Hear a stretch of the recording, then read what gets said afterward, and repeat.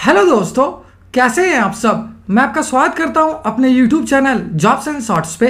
हमेशा की तरह आज मैं फिर से आपके लिए एक नई जॉब वैकेंसी की जानकारी लेकर आया हूँ दोस्तों, जो कि हमारे पास निकल कर आई है electronics corporation of India limited यानी ई की तरफ़ से। जी हाँ दोस्तों, ये जॉब वैकेंसी है ई रिक्रूटमेंट दो जिसे कि बम्पर एक प्रोजेक्ट इंजीनियर और टेक्निकल ऑफिसर पोस्ट के लिए जारी किया गया है। सैलरी की बात करें तो ये आपको चौबीस हज़ार पाँच सौ रुपये से लेकर पचपन हज़ार रुपये पर मंथ तक की मिल जाएगी। वहीं जॉब लोकेशन आपका ऑल इंडिया रहेगा, यानी आपकी पोस्टिंग पूरे भारत में कहीं भी किया सकती है। अगर बात कर लेते हैं, इस फॉर्म का आवेदन करने के लिए अप्लाई मोड क्या रखा गया है तो इसे वॉक इन इंटरव्यू के थ्रू ही कंडक्ट करवाया जाएगा दोस्तों। तो आइए बिना देर किए इस जॉब वैकेंसी के बारे में डिटेल में जान लेते हैं। लेकिन उससे पहले, अगर आपने हमारे चैनल को सब्सक्राइब नहीं किया है तो तुरंत ही सब्सक्राइब करें। साथ ही इस वीडियो को पूरा देखें और लाइक और शेयर करना न भूलें। सबसे पहले बात कर लेते हैं दोस्तों पोस्ट वाइज वैकेंसी डिटेल्स की तो प्रोजेक्ट इंजीनियर के लिए चौसठ वैकेंसी है टेक्निकल ऑफिसर के लिए सड़सठ वैकेंसी है, जबकि असिस्टेंट प्रोजेक्ट इंजीनियर के लिए बत्तीस वैकेंसी है। अगर एडुकेशनल क्वालिफिकेशन की बात करें तो जिन कैंडिडेट्स ने बी या बी कर रखा है, किसी भी रिकॉग्नाइज बोर्ड या यूनिवर्सिटी से, वो सारे कैंडिडेट इसके लिए आवेदन कर पाएँगे। वहीं अगर बात कर लेते हैं दोस्तों पोस्ट वाइज सैलरी डिटेल्स की तो प्रोजेक्ट इंजीनियर पोस्ट के लिए आपको मिल जाएगी चालीस हज़ार रुपये से लेकर पचपन हज़ार रुपये पर मंथ तक की सैलरी। टेक्निकल ऑफिसर पोस्ट के लिए आपको मिलेगी पच्चीस हज़ार रुपये से लेकर इकतीस हज़ार रुपये पर मंथ तक की सैलरी।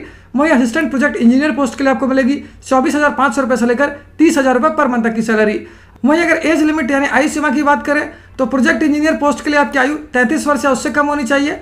टेक्निकल ऑफिसर पोस्ट के लिए आपकी आयु तीस वर्ष या उससे कम होनी चाहिए, जबकि असिस्टेंट प्रोजेक्ट इंजीनियर पोस्ट के लिए आपकी आयु पच्चीस वर्ष या उससे कम होनी चाहिए। अगर एज लहसन की बात करें तो ओबीसी कैंडिडेट्स को तीन साल तक का S C S T candidates को पाँच साल तक का, वहीं पी डब्ल्यू डी कैंडिडेट्स को दस साल तक का एज रिलेक्शन दिया जाएगा।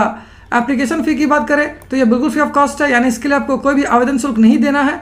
वहीं सिलेक्शन प्रोसेस जो है, वो केवल वॉक इन इंटरव्यू पर डिपेंड करेगी। और अगर अंत में बात कर लेते हैं इंपॉर्टेंट डेट्स की तो इस नोटिफिकेशन को जारी किया गया था 22 अगस्त दो हज़ार तेईस को। वहीं वॉक इन डेट इंटरव्यू के लिए लोकेशन वाइज बात की जाए तो चेन्नई में ये एक सितंबर दो हज़ार तेईस को रखी गई है। वहीं बाकी अदर लोकेशन के लिए आपका इंटरव्यू जो है, वो चार सितंबर दो को कंडक्ट करवाया जाएगा। वहीं अगर बात कर लेते हैं दोस्तों कि किस एड्रेस पर आपको विज़िट करना है अपने रिज्यूमे और डॉक्यूमेंट्स के साथ इंटरव्यू के लिए तो ये मैं आपको एड्रेस हाईलाइट करके दिखा दे रहा हूँ।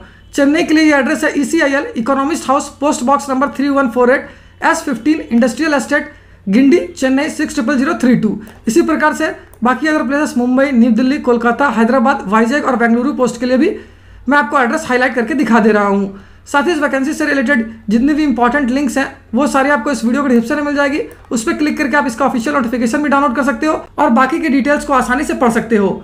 अगर फिर भी आपको कोई डाउट है या फिर कोई क्वेश्चन है तो आप हमें कमेंट सेक्शन में पूछ सकते हो। तो फिर मिलता हूँ दोस्तों एक नए वीडियो में एक नई जॉब वैकेंसी की जानकारी लेकर। जय हिंद।